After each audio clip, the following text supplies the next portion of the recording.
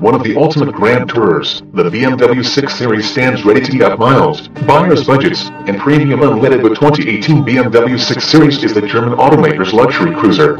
It's more at home whittling away miles on an open stretch of freeway than on a racetrack and it's available as either a seductive two-door convertible with a power folding fabric roof, a shapely four-door called the Gran Coupe, and a wagon-esque Gran Turismo that's a bit of an outlier in the range, but more on this soon.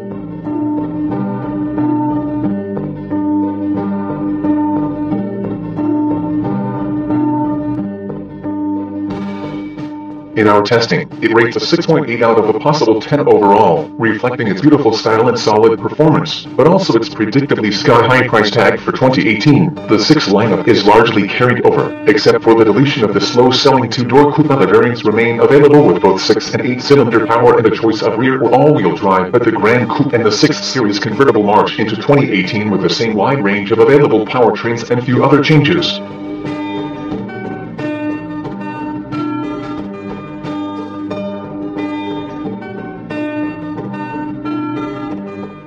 Review continues below. A new 2018 BMW 6 Series Gran Turismo is actually closer to the 5 Series than it is the Gran Coupe or convertible. Yeah, we know.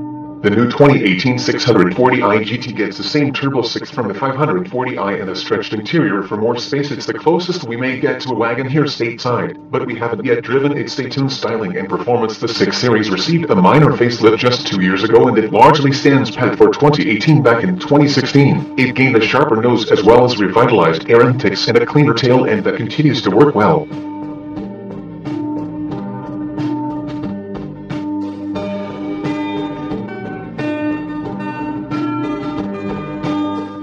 The Gran Coupe adds a little length thanks to a 4.5-inch longer wheelbase that helps accommodate its second pair of doors. The Gran Coupe isn't quite a luxury sedan thanks to its arching roofline that instead its sporty moves, but it does have decent second row room. The 640i comes as standard with a 3.0-liter inline-six with a turbocharger rated at 315 horsepower and 330 pound-feet of torque. It may be the gateway into the brand, but it scoots to 60 miles per hour in a hair over 5 seconds.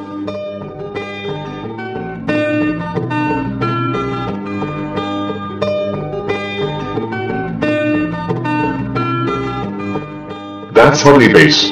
Opt for the 650i and you'll spend more, but you will also get a twin-turbo V8 with 445 horsepower and 480 pounds-ft of torque that slices a second from its 0 to 60 sprint. Its power runs deep, with rust available from even a gentle tap at the throttle. All models are fitted with an 8-speed automatic gearbox and rear-wheel drive, but all-wheel drive, branded as X-Drive, is on the options list for those who simply must have everything or want to head to the ski slopes. There's also an M6 version of each on offer, which we cover separately.